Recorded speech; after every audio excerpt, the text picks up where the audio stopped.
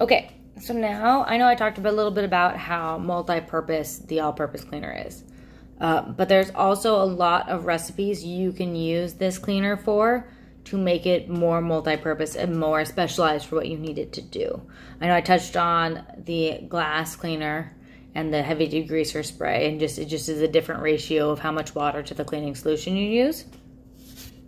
But also, there's this fancy little booklet that and there's other booklets out there too and a bunch of recipes on Pinterest and all sorts of other places. But this booklet is just about different ways to use your cleaner. So here is, you know, the all-purpose cleaner. One cap full of cleaner to, you know, two to three cups of water. Easy, straightforward.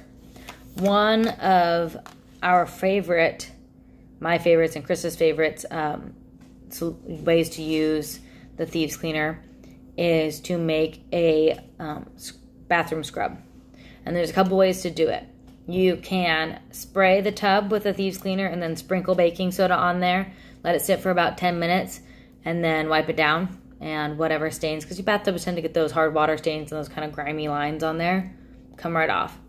Or if you really want to scrub, at, you know, maybe you have a lot of lime scale and a lot of hard water in your bathroom, in your bathtub somewhere, there is a deep cleaning scrub that is baking soda and then a um, cap full of the cleaner, so it's more concentrated. And you just layer it on there and then you let it sit for about 15 minutes and scrub it with either like a scrub brush or a scrubby side of a sponge, and that stuff will come off. And it makes more of like a paste. So that's really nice for scrubbing your bathroom, or maybe you have a lot of grease buildup on your stove and you just can't get it off because sometimes some of that grease is hard to get off. Works great for that. And there's so many other recipes for it. I mean, there's the glass cleaner. You can add essential oils to it. This recipe for the glass cleaner recommends you add citrus fresh in there and stuff. And there's a carpet spot cleaner, a wood floor cleaner. So really, there's so many things that you can do with the um, thieves cleaner. Um, it works great. The the baking soda scrub works great on grease on stove tops. I've used it on that before. Um, it works. I mean, the thieves, the all-purpose thieves cleaner works great on glass. But if you're worried about streaking or whatever, you can use the glass specific recipe. It you can use the thieves cleaner for. I mean, really anything. But you can, you know, I talked about in an earlier video. You can use it for helping strip laundry and things. You can use it for a lot of stuff, and it is very multifaceted. Um, so this little book, like I said, has so many things in it.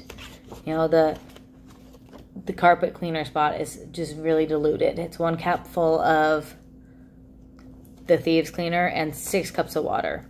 So if you have a stain on your carpet, maybe you have pets and stuff, this will break down the bacteria in that pee spot on your carpet, which in turn makes it so they don't want to pee there again because it no longer smells like pee. And it should, it'll bring up the stain as well. So, I mean, that's great. We don't have carpet in our house, so I haven't used that recipe.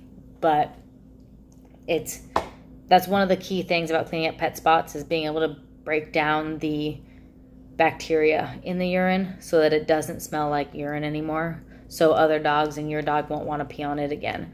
So it's great to be able to clean those spots with something natural and then also get rid of that scent. Um, so this cleaner, I mean, how many cleaners can you buy that you can do, you know, clean every surface in your house with without having to worry about it?